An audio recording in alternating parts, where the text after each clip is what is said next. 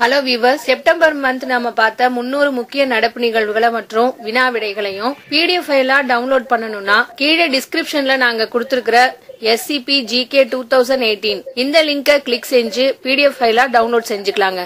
சரிங்க இன்றைய முக்கிய நடப்பு நிகழ்வுகளை பார்க்கறதுக்கு முன்னாடி இது வரைக்கும் நீங்க அருண் அகாடமி சேனலுக்கு சப்ஸ்கிரைப் பண்ணாம இருக்கீங்க அப்படின்னா உடனே சப்ஸ்கிரைப் பண்ணுங்க. கூடவே கீழே இருக்கிற பெல் சிம்பிளையும் பிரஸ் பண்ணுங்க. அப்பதான் நாங்க இது போல அப்லோட் பண்ற ஒவ்வொரு முக்கியமான வீடியோவும் உங்களுக்கு நோட்டிபிகேஷனா உடனே கிடைக்குங்க. நீங்களும் தவறாம பார்க்க முடியுங்க. இன்றைய முக்கிய நடப்பு நிகழ்வுகளை பார்க்கறதுக்கு முன்னாடி நேற்றைய கேள்விகளுக்கான விடைகளையும் இன்றைய உங்களுக்கான கேள்விகளையும் பார்த்தலாங்க நேற்றைய கேள்விகள்ல முதல் கேள்விக்கான விடை ஜகார்த்தா. இரண்டாவது கேள்விக்கு எழுபது மூன்றாவது கேள்விக்கு செப்டம்பர் இருபத்தி மூணு நான்காவது கேள்விக்கு சீனா ஐந்தாவது கேள்விக்கான விடை இரண்டாயிரத்தி பத்தொன்பது. இன்றைய உங்களுக்கான முதல் கேள்வி எங்கு தஞ்சாவூர் தமிழ் பல்கலைக்கழகம் சார்பில் சிலப்பதிகார ஆய்வு மாநாடு நடைபெற உள்ளது? இதற்கான answer options option A Colombo option B Paris option C Kuala Lumpur option D Sydney. உங்களுக்கான இரண்டாவது கேள்வி. இந்த ஆண்டு யாருடைய நூறாவது பிறந்த தினத்தை ஒட்டி ஐநாவில் அவரது சிலை திறக்கப்பட்டுள்ளது. இதற்கான answer options option A Mahatma Gandhi option B Fidel Castro option C Nelson Mandela option D Abdul Kalam உங்களுக்கான மூன்றாவது கேள்வி. எல்லை கட்டுப்பாட்டு கோட்டை தாண்டி பயங்கரவாதிகளின் முகாம்களில் இந்திய ராணுவத்தினர் துல்லிய தாக்குதல் நடத்தியதன் இரண்டாம் ஆண்டு நினைவு தினம் செப்டம்பர் இருபத்தி எட்டில் அனுசரிக்கப்பட்டது. இதையொட்டி எந்த மாநிலத்தில் உள்ள ஜோத்பூரில் ராணுவ கண்காட்சியை பிரதமர் நரேந்திர மோடி தொடங்கி வைத்தார். இதற்கான answer options option A Punjab option B Haryana option C Rajasthan option D Jammu Kashmir உங்களுக்கான நான்காவது கேள்வி மியான்மர் அரசின் தலைவரான ஆங் சான் சூகிக்கு வழங்கப்பட்ட கௌரவ குடியுரிமையை பறிப்பதற்கான தீர்மானத்தை கனடா நாட்டு நாடாளுமன்றம் ஒருமனதாக நிறைவேற்றியுள்ளது. ஆங் சான் சூகி அவர்கள் எதற்காக நோபல் பரிசு பெற்றார்? இதற்கான ஆன்சர் ஆப்ஷன்ஸ் ஆப்ஷன் ஏ அமைதி ஆப்ஷன் பி இயற்பியல் ஆப்ஷன் சி இலக்கியம் ஆப்ஷன் டி பொருளாதாரம். உங்களுக்கான ஐந்தாவது கேள்வி செப்டம்பர் இருபத்தி ஒன்பது என்ன தினமாக கடைபிடிக்கப்படுகிறது? இதற்கான answer options option A international peace day உலக அமைதி தினம். Option B world tourism day உலக சுற்றுலா தினம். Option C world maritime day உலக கடல் தினம். Option D world heart day உலக இதய தினம். சரிங்க இந்த கேள்விகளுக்கெல்லாம் பதில் தெரிஞ்சதுன்னா கீழே கமெண்ட்ல ஆன்சர் பண்ணுங்க. அப்படி தெரியலனா இருபத்தி ஆறு ஒன்பது ரெண்டாயிரத்தி பதினெட்டுல இருந்து முப்பது ஒன்பது ரெண்டாயிரத்தி பதினெட்டு வரையிலும் நாங்க அப்லோட் பண்ண வீடியோ பாருங்க. அடுத்த வீடியோல நான் இந்த கேள்விகளுக்கான விடைகளை சொல்றேங்க. இன்றைய முக்கிய நடப்பு நிகழ்வுகள்ல முதல்ல நம்ம பார்க்க போறது இன்டர்நேஷனல் நியூஸ் சர்வதேச நிகழ்வுகள் முதல் கேள்வி. புலிகளின் எண்ணிக்கையை இரட்டிப்பாக்கியுள்ள முதல் நாடு எது? இதற்கான விடை நேபாளம். மேலும் இதை பத்தின சில தகவல் என்னன்னா இரண்டாயிரத்தி பதினெட்டு தேசிய வளங்கள் பாதுகாப்பு தினத்தை ஒட்டி அறிக்கையை வெளியிட்டது.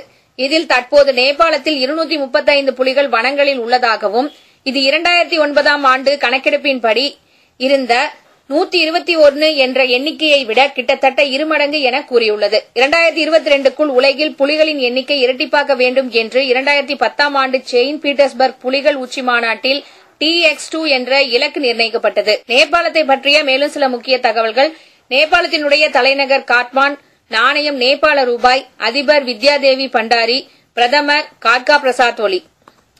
அடுத்த கேள்வி அண்மையில் ஹைஃபா போரின் நூற்றாண்டு நிறைவை கொண்டாடிய நாடுகள் எவை? இதற்கான விடை இந்தியா மற்றும் இஸ்ரேல். மேலும் இதை பத்தின சில தகவல் என்னன்னா இது இஸ்ரேல் தில்லி மற்றும் ஜெய்ப்பூரிலும் கொண்டாடப்பட்டது. ஆயிரத்தி தொள்ளாயிரத்தி பதினெட்டாம் ஆண்டு இதே நாளில் மைசூர் ஹைதராபாத் மற்றும் ஜோத்பூரை சேர்ந்த இந்திய படை வீரர்கள் கிழக்கு மத்திய தரைக்கடலின் ஆழ்கடல் விரிகுடா எனப்படும் முக்கிய நகரான ஹைஃபாவை விடுதலை செய்தனர். இஸ்ரேல் நாட்டை பற்றிய மேலும் சில முக்கிய தகவல்கள். இஸ்ரேலினுடைய தலைநகரம் ஜெருசலேம் அதிபர் ரீவன் ரிவ்லின் பிரதமர் பெஞ்சமின் நெதன்யாகு நாணயம் இஸ்ரேலிய சேக்கல். அடுத்த கேள்வி முதலாவது பெண்கள் வெளியுறவு அமைச்சர்கள் மாநாட்டை நடத்திய நாடு எது? இதற்கான விடை கனடா. மேலும் இதை பத்தின சில தகவல் என்னன்னா கனடாவின் மான்ட்ரியல் நகரில் முதலாவது பெண்கள் வெளியுறவு அமைச்சர் மாநாடு நடைபெற்றது. அரசியல் மற்றும் முடிவெடுக்கும் செயல்முறைகளில் உள்ள பெண்களின் பங்கினை சிறப்பித்து கூறுவதே இம்மாநாட்டின் நோக்கமாகும். கனடாவை பற்றிய மேலும் சில முக்கிய தகவல்கள். கனடாவினுடைய தலைநகரம் ஒட்டாவா பிரதமர் ஜஸ்டின் ட்ருதியே நாணயம் டாலர். இன்றைய முக்கிய நடப்பு நிகழ்வுகள்லாம் அடுத்தது நம்ம பார்க்க போறது நேஷனல் நியூஸ். தேசிய நிகழ்வுகள். ஐந்தாவது உலக தமிழர் பொருளாதார மாநாடு எங்கு நடைபெற்றது? இதற்கான விடை புதுச்சேரி. மேலும் இதை பத்தின சில தகவல் என்னன்னா இம்மாநாட்டை கயானா பிரதமர் மோசஸ் வீராசாமி நாகமுத்து தொடங்கி வைத்தார். கயானாவில் நான்கு சதவீதம் தமிழர்கள் மட்டுமே வசிக்கின்றனர். அங்கு தமிழர் ஒருவர் பிரதமராவது இதுவே முதல் முறை. கயானாவை பற்றிய மேலும் சில முக்கிய தகவல்கள். கயானாவினுடைய தலைநகரம் ஜார்ஜ் டவுன் அதிபர் டேவிட் கிரேஞ்சர் நாணயம் கயானிய டாலர். அடுத்த கேள்வி.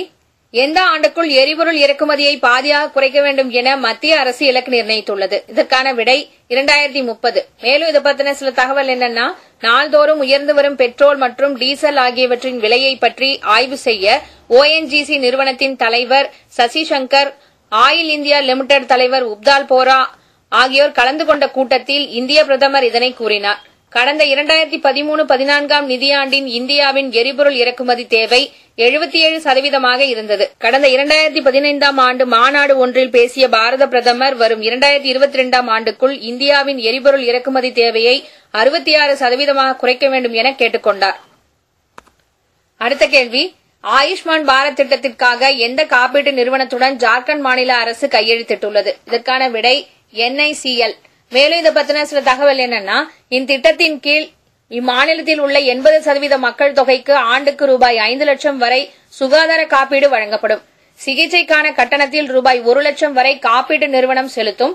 கூடுதல் செலவுகளை ஜார்க்கண்ட் மாநில சுகாதார சங்கத்தின் மூலம் அம்மாநில அரசு செலுத்தும். இத்திட்டத்தின் கீழ் இருபத்தைந்து லட்சம் குடும்பங்களுக்கான காப்புத் தொகையை மத்திய மற்றும் மாநில அரசுகள் அறுபது ஈஸ்ட் நாற்பது என்ற விகிதத்தில் செலுத்தும். மீதமுள்ள முப்பத்தி ரெண்டு லட்சம் குடும்பங்களுக்கான காப்புத் தொகையை மாநில அரசு தனித்து செலுத்தும். அடுத்த கேள்வி. எந்த நகரத்திலிருந்து ஆயுஷ்மான் பாரத் தேசிய சுகாதார பாதுகாப்பு திட்டம் தொடங்கி வைக்கப்பட்டது? இதற்கான விடை ராஞ்சி. மேலும் இது பத்தின சில தகவல் என்னன்னா பத்து புள்ளி ஏழு நாலு கோடி குடும்பங்களுக்கு மேல் ஏறத்தாழ ஐம்பது கோடி பயனாளிகள் இந்த திட்டத்தின் மூலம் பயன்பெற தகுதியுள்ளனர் அரசு மருத்துவமனைகள் மற்றும் இந்த திட்டத்தில் இணைந்துள்ள அனைத்து தனியார் மருத்துவமனைகளிலும் பயனாளிகள் சிகிச்சை பெறலாம். கடந்த இரண்டாயிரத்தி பதினொன்றாம் ஆண்டு சமூக பொருளாதார மற்றும் சாதிவாரி கணக்கெடுப்பின் அடிப்படையில் கிராமப்புறங்களில் எட்டு புள்ளி பூஜ்ஜியம் மூன்று கோடி குடும்பங்களும் நகர்ப்புறங்களிலும் இரண்டு புள்ளி மூன்று மூன்று கோடி குடும்பங்களும் இந்த திட்டத்தில் சேர்க்கப்படும். உடனடியாக பணம் செலுத்தாமலேயே ஆவணங்கள் எதுவும் இன்றி பயனாளிகளுக்கு இச்சேவை வழங்கப்படுகின்றன. டில்லி கேரளா ஒடிசா பஞ்சாப் மற்றும் தெலுங்கானா ஆகிய ஐந்து மாநிலங்கள் இந்த ஆயுஷ்மான் பாரத் திட்டத்தில் இணையவில்லை. அடுத்த கேள்வி. வீட்டு வசதி மற்றும் நகர்ப்புற விவகாரங்கள் அமைச்சகம் அண்மையில் வெளியிட்ட எளிய வாழ்க்கைக்கான குறியீட்டில் முதலிடம் பிடித்துள்ள மாநிலம் எது?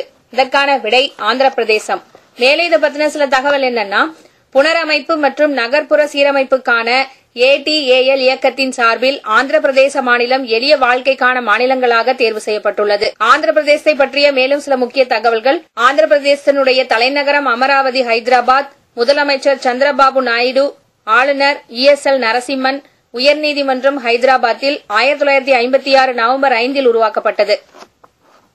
அடுத்த கேள்வி இந்தியாவின் இரண்டாவது மிகப்பெரிய மெட்ரோ ரயில் வலையமைப்பு எது? இதற்கான விடை ஹைதராபாத் மெட்ரோ. மேலே இதை பத்தின சில தகவல் என்னன்னா அண்மையில் L T metro rail Hyderabad நிறுவனம் பதினாறு கிலோமீட்டர் தூரம் கொண்ட மெட்ரோ வழித்தட சேவையை தொடங்கியது. தற்போது ஹைதராபாத் மெட்ரோவின் மொத்த நீளம் நாற்பத்தி ஆறு கிலோமீட்டராக உள்ளது. இதன் மூலம் தில்லி மெட்ரோவிற்கு அடுத்தபடியாக இது இந்தியாவின் இரண்டாவது பெரிய மெட்ரோ ரயில் வலைப்பின்னலாக மாறியுள்ளது. ஹைதராபாத் மெட்ரோ ரயில் திட்டம் உலகின் மிகப்பெரிய பொது தனியார் கூட்டு திட்டமாகும். இன்றைய முக்கிய நடப்பு நிகழ்வுகள்ல அடுத்த நம்ம பார்க்க போறது அப்பாயின்மெண்ட்ஸ் நியமனங்கள். நேபாள சுற்றுலாவுக்கான நல்லெண்ண தூதராக நியமிக்கப்பட்டுள்ள இந்தியர் யார்? இதற்கான விடை ஜெயபிரதா மேலும் இதை பத்தின சில தகவல் என்னன்னா இரண்டாயிரத்தி இருபதாம் ஆண்டை விசிட் நேபாள் இயர். நேபாளத்தை காண வாருங்கள் எனும் தலைப்புடன் சுற்றுலா ஆண்டாக அனுசரிக்க நேபாள அரசு தீர்மானித்துள்ளது.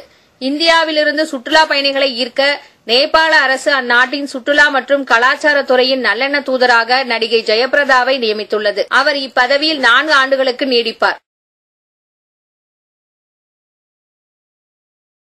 சரிங்க. இதுவரைக்கும் நாங்க சொன்ன தகவல்கள் உங்களுக்கு ரொம்பவே பயனுள்ளதா இருக்கும்னு நினைச்சீங்கன்னா லைக் பண்ணுங்க. அதே போல உங்க நண்பர்களுக்கும் பயனுள்ளதா இருக்கும்னு நினைச்சீங்கன்னா ஷேர் பண்ணுங்க. மேற்கொண்டு இதை பத்தின கருத்துக்களை கீழே கமெண்ட்ல பதிவு பண்ணுங்க. தேங்க்யூ